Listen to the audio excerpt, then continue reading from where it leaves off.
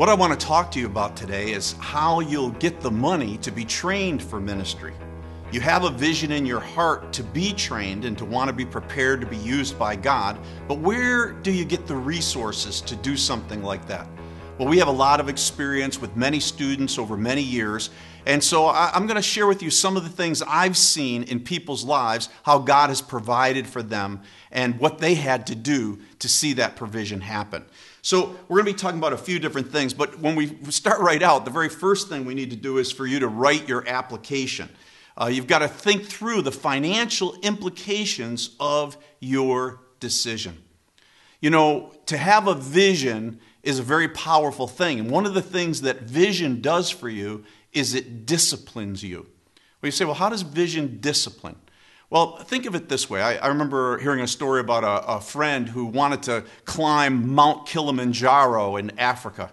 And so he put into his den a, uh, uh, basically, it was a, a mural of Mount Kilimanjaro, the mountain there right in front of him. And so every day when he would go into his den, he would, he would look at the wall and he would see that mountain. And he would begin to start thinking to himself, wow, if I'm going to climb a mountain like that, I'm going to need special equipment. And so he began researching the kind of equipment that he would need. And he said, Wow, if I'm going to climb a mountain like that, I've got to get in better shape than I am right now. And he began to, to run and to prepare himself to climb the mountain. You see, he looked and he said, If I'm going to climb a mountain like that, I'm, I'm going to need to get ready financially to make the trip and all the things that need to happen. You see, your vision disciplines you, just like his vision disciplined him. In the same way, you have a vision. Your vision is to come and be trained for ministry at Elim Bible Institute. And with that vision, there's, going to, there's to be discipline that has to come into your situation and into your life. And that's, that's a really important part of what we're, what we're wanting to do in some of these things that we share with you.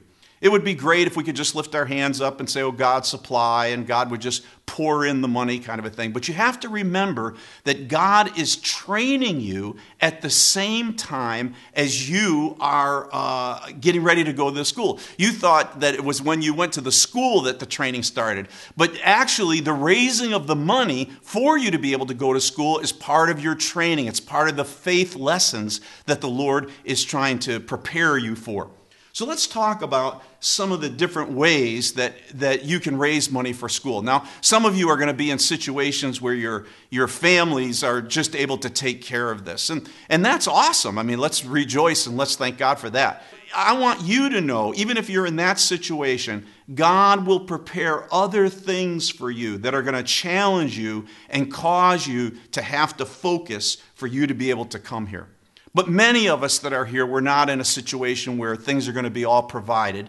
Instead, we've got to begin to believe God and to prepare how are we going to get the money together to be able to go to school.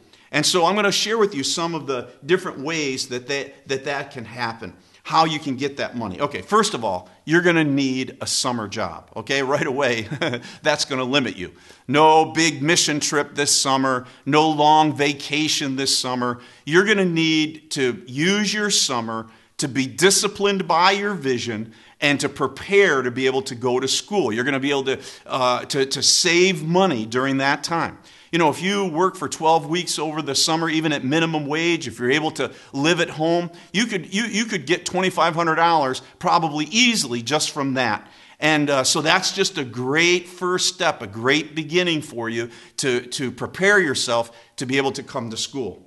Another way that uh, many students are able to raise the money to go to school is they ask for help. Now, you would say, well, what do you, what do you mean ask for help? Well, you have to realize when you're getting trained for ministry, you, we've got to believe God to supply, and we've got to believe God to use His people to supply.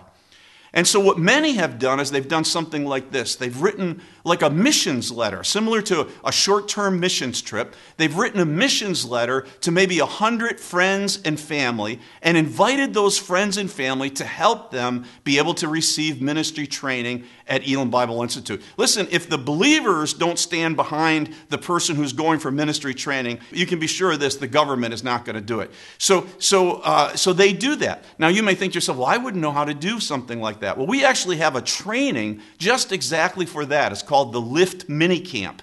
And uh, when you talk to someone at admissions, they can help you to, to hear about the mini camp. And we give you the same kind of training that missionaries get that enables them to be able to raise money to do things to it. And, and many of our students will raise one to three thousand dollars a year from uh, getting help from others who want to stand with them. Another great benefit of doing this is you begin to build your support team. Whatever the Lord calls you to in the future, you're going to need a team of people who are going to stand behind you in prayer, in some cases, stand behind you financially. And this gives you a chance to begin to build that support team by the people who stand behind you while you go to school.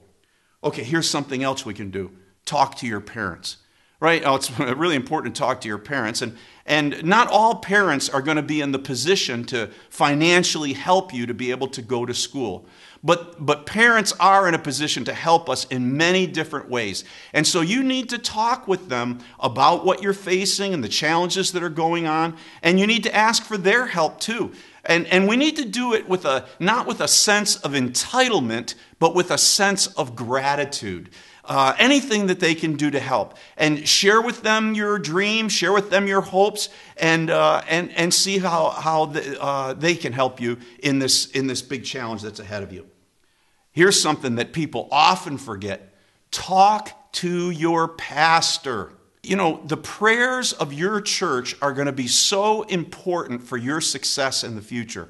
And so you want to take time to sit with your pastor and share the dream of ministry training. You know, most uh, Christian leaders are thrilled when a person from their church wants to go on to be uh, involved in ministry. It's encouraging and strengthening to them.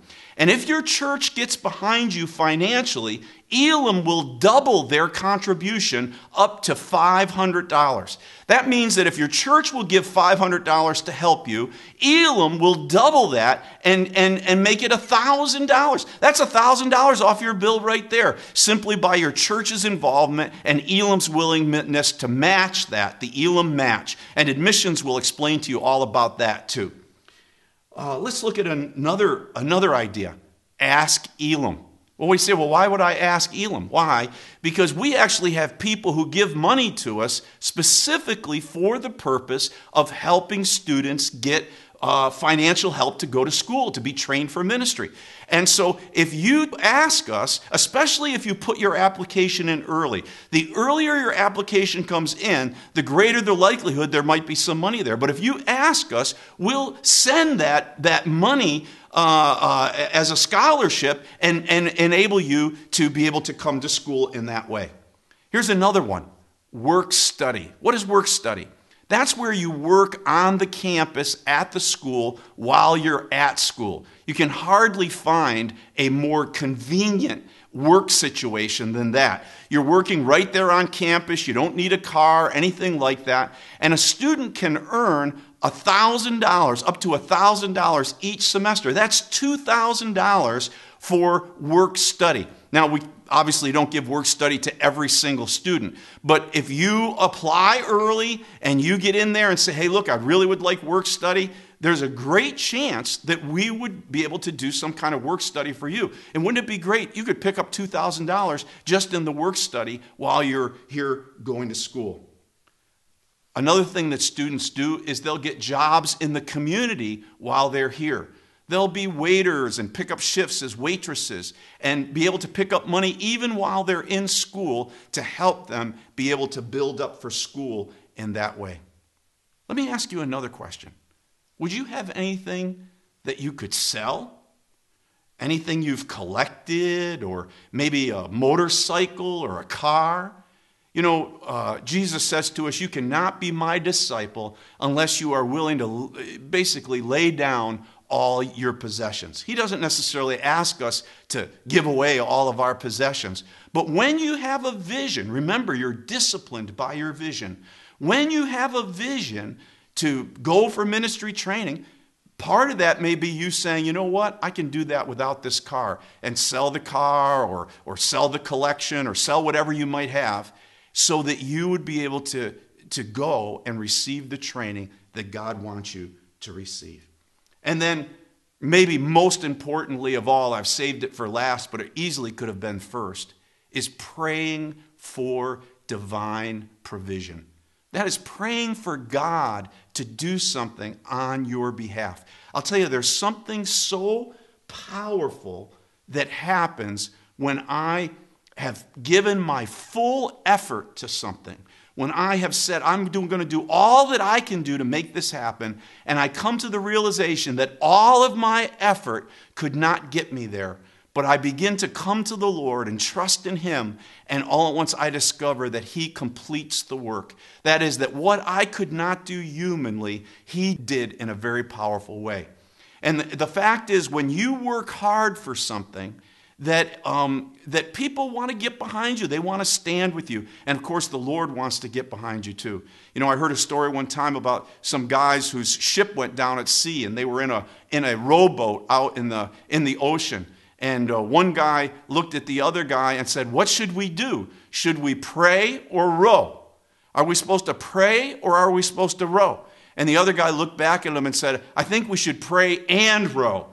We should pray and row. And that's the way this kind of thing is. When you're, when you're stepping out in faith, when you're moving forward in faith in some kind of way, you've got to pray and row. You give it everything you've got, but then God comes in and supplies what you could never supply on your own. See, one of the things you have to realize is that you are literally in training right now. That is, that as you uh, take this as a, as a challenge to your faith, as you begin to believe God for financial provision for you to be able to come and get trained, as you do that kind of thing, you are actually developing the faith muscle that's going to help you in the future because God's going to put in front of you many tasks that seem impossible, opportunities that seem greater, they, they would cause other people to shrink back. But because you saw God supply, even in these earlier days, you will have faith and you'll be able to move forward in, in great power and see, and see great things happen through your life. It's all part of the training. Now, the truth is, it will cost you to come to Elim. It's going to cost you because it's not going to all come easy. It's not going to be simple. You're going to be disciplined by your vision. There are going to be things that God's going to say to you. Others can, but you cannot. You must do this now.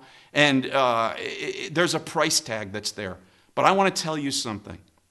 When you are developed spiritually and you become someone that the power of God can flow through your life, and you see that power flowing through you to touch other people, when you see that happening, the rewards will be so much greater than all of the challenge and all of the battles you've had to walk through. You'll, you'll look at it and you'll say, wow, this was worth it all. There's a cost, but there's a great reward. I hope to see you at Elim this fall.